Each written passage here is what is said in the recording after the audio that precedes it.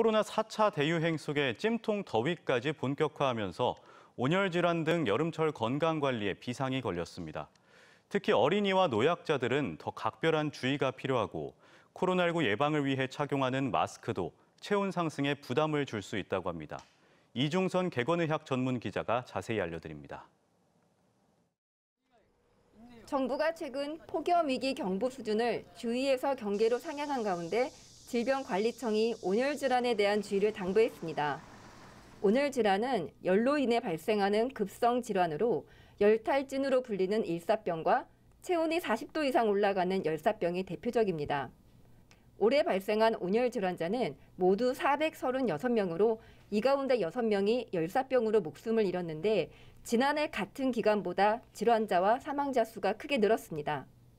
오후 2시부터 5시 사이 실외 작업장과 논, 밭, 길가 등에서 환자 발생이 가장 많았습니다.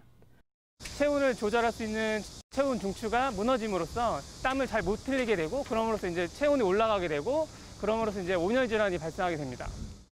온열 질환을 예방하기 위해선 물과 그늘, 휴식 세 가지 건강 수칙을 기억해야 합니다.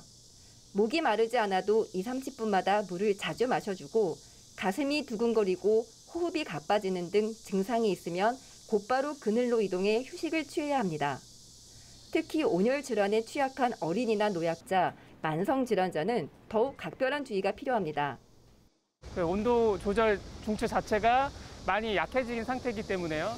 건강한 성인에 비해서 온도를 조절하는 기능 자체가 많이 약해져 있습니다. 그러니까 이런 무더운 날씨에는 더욱더 취약하게 마련이죠. 아울러 낮 시간 외출 시에는 햇빛을 반사하는 밝은 색상의 가볍고 헐렁한 옷을 입는 게 온열 질환 예방에 도움이 됩니다. 질병관리청은 장시간 마스크 착용이 체온 상승에 영향을 줄 수 있는 만큼 야외에서 2m 이상 거리두기가 가능한 경우 잠깐씩 마스크를 벗고 열기를 식히는 것도 도움이 될 수 있다고 밝혔습니다. TJB 닥터 리포트 이중선입니다.